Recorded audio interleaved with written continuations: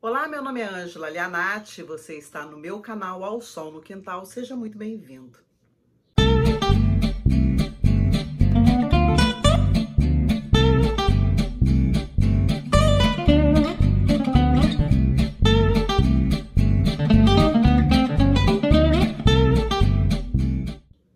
Hoje nós vamos conversar sobre esse livro fantástico chamado Lavoura Arcaica, e quem escreve esse livro é Raduan Nassar.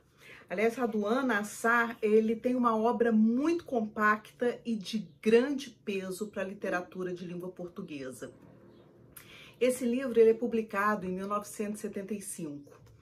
Ah, o livro ah, Um Copo de Cólera, né, que é uma novela, ele só vai aparecer, ele foi escrito em 1970, mas ele só aparece em 1978. E em 1997 aparecem alguns contos dele é, da década de 60 e da década de 70, ou seja, Raduan escreve e guarda. Então é bem provável que a gente seja surpreendido por alguma obra dele aí guardada por esse tempo todo. Esse livro é muito genial e eu vou conversar com vocês sobre, sem, é, tentando não dar o spoiler. Não sei se vocês já leram, mas vale muito a pena. Uh, Lavoura Arcaica, esse livro aqui não foi exatamente a, a edição que eu li. Essa aqui é a 33 edição e foi revisada, a 33 impressão e a terceira edição revisada pelo autor, se eu não me engano, exatamente. Então, assim, é um livro que vendeu muito. E o, o primeiro exemplar que eu tive, eu dei de presente para o Yuri, porque eu achava que isso tinha que constar na biblioteca dele. Nem sei se ele já leu mas eu também quis, e esse livro aqui eu não me desfaço dele, tal a importância que eu vejo. Então, assim, o que, que nós temos aqui? É a história de uma família patriarcal, é, de origem libanesa, um pai, uma mãe e sete filhos. Ah, o pai extremamente opressor e a mãe amorosa, mais submissa a esse pai. E dos sete filhos, André é aquele filho que tenta se desgarrar daquela imposição da, de uma ética e de uma moral bastante uh, uh, opressora, bastante forte, bastante uh, é, hermética, e ele tenta eh, fugir disso tudo para viver as suas próprias aspirações, é, tentar viver, tentar encontrar a sua identidade, e aí ele foge disso, mas ele é resgatado pelo seu irmão Pedro em uma pensão onde ele está vivendo e durante esse primeiro capítulo, né, porque são somente dois, então tem esse primeiro capítulo é, da fuga do André e do encontro dos irmãos e o segundo que é o retorno de André. Bom, é um livro bastante subjetivo com o que a gente chama fluxo de consciência. O que, que é o fluxo de consciência, né? Ele vai tocando direto, ele não tem ponto, mas quem já lê Saramago se adequa muito bem a esse tipo de literatura onde você não tem ponto, que aquilo vai, vai, vai, vai, vai, e a pessoa vai dizendo tudo aquilo que vem à cabeça, tudo aquilo que ela pensa, como se fosse num único sopro, um sopro contínuo mas não é um sopro uniforme, é um sopro por vezes bastante intenso e por vezes ele arrefece, intenso e arrefece, mas ele é contínuo. Bom, é muito subjetivo, muito subjetivo, a começar pelo título. O que, que é o lavoura arcaico? Lavoura é onde se cultiva e a, a cultura ela tem também essa, esse viés, né? Aquilo que você cultiva, aquilo que você planta, aquilo que você colhe, né? E a cultura no sentido de que você perpetua não, esses comportamentos, esses pensamentos essa moral. E arcaica que vem do antigo. Então, o, tudo que o André quer é fugir dessa, de, de, dessa opressão do patriarcado. Essa família, né, o pai faz questão de que seus valores morais é, permaneçam e, e continuem. E o que a gente pode perceber é que, de uma certa forma, os filhos eles não se adequam a isso. E cada um, à sua maneira, reage a essa opressão paterna, a essa pressão do patriarcado. Ah, quando o, os filhos se sentam à mesa, né, e, e, existe o diálogo sobre isso, é que a gente pode perceber ah, essa necessidade da continuidade e como que cada um deles responde a isso à sua maneira, tentando a sua própria identidade e essa quebra de regras. Eu não vou dar o spoiler do livro e nem para onde o livro caminha, mas é, é assim, é um, um, um, final bastante previsível, né? Bastante intuitivo se você mergulhar nessa leitura. Não é absolutamente uma leitura fácil, não é.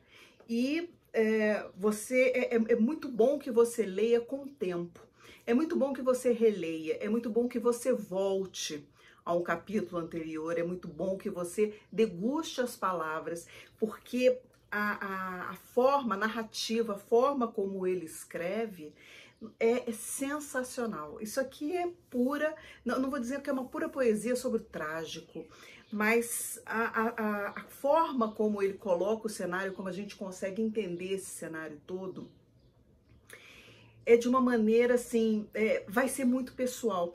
Cada pessoa que fizer uma leitura desse livro vai ter uma experiência diferente. Não há como você repetir essa experiência, nem mesmo se você fizer duas leituras dessa história.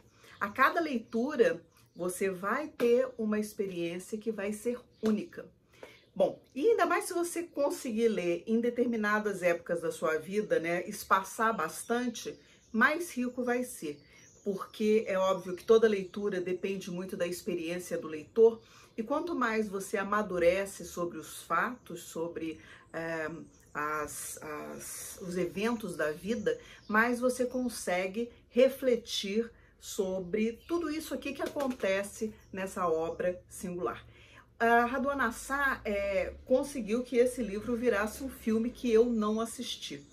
Eu sei que foi feito com Celton Mello e tem um elenco aí bem bacana, mas eu, eu, também sou daquelas pessoas assim, se eu vejo o filme não leio o livro, se eu leio o livro não vejo o filme, já contei isso aqui para vocês. Por quê? Porque eu acho que nenhum diretor ganha na minha cabeça. Então eu gosto de imaginar os personagens, eu gosto de construir os personagens na minha imaginação, eu me divirto muito com isso. Isso faz parte da minha leitura. Então, é qual o rosto que o personagem vai ter, os trejeitos que ele tem. Então, a, a eu, eu imagino o André, eu, eu me identifico assim com ele no sentido de quebrar é, as, as ordens, né? quebrar esse mando paterno e, e, quebrar com as regras e tentar construir um novo e refletir sobre sua vida, sobre sua subjetividade, sobre a sua identidade, qual seria a sua identidade. E é muito interessante que o que acontece aqui nessa novela extremamente trágica é, nós sabemos que existe a questão do incesto. Né? Isso não é, uh, é, nenhuma novidade, porque todo mundo sabe que acontece isso aqui. Mas é, que também remete ao título Lavoura Arcaica, porque é, é uma cultura antiga a do incesto. Inclusive, no sertão do Brasil ainda acontece isso, principalmente quando há o coronelismo. É, os pais se acham propriedade, acham que as filhas são propriedades e eles precisam ser o primeiro homem. Né? Então, assim, o incesto ele também é muito antigo, ele não é dos nossos dias, isso não é uma discussão atual. Isso é uma discussão muito antiga, né? E eu particularmente acredito que se não fosse pela religião, o incesto teria exterminado a humanidade pelo cruzamento dos seus próximos. É uma teoria, não estou dizendo que está certa, que está errada, mas eu estou colocando aqui para vocês, assim, sem medo de ser pichada, porque as teorias existem, elas estão aí para serem conversadas. Particularmente é o que eu acho.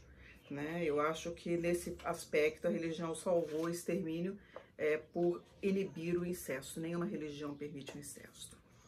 Então, eu acho que esse código moral, né, que basicamente o, o, os nossos valores, os nossos códigos, eles vêm de uma cultura espiritual, de uma cultura religiosa, e aí eu acho que a humanidade foi salva por isso também.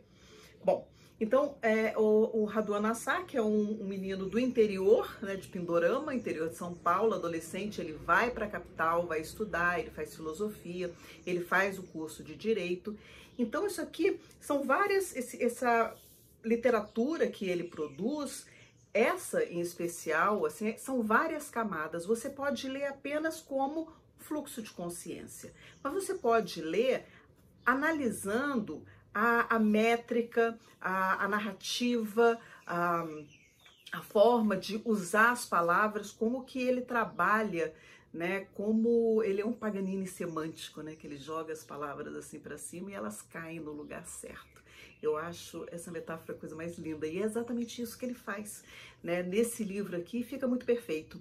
Mas você pode ler também à luz da psicanálise, você pode ler à luz do direito, você pode ler à luz da sociologia. Então você pode integrar saberes nessa obra. Por isso que faz é, todas essas integrações, faz dessa obra uma leitura essencial e muitíssimo rica, além de forçar muito a barra para que a sua interpretação seja aguçada, para que você possa exercitar essa habilidade de interpretar o léxico, como ele é colocado, com a, a semântica. Então, isso aqui é muitíssimo rico. Lavoura Arcaica é um dos livros mais ricos que eu já li.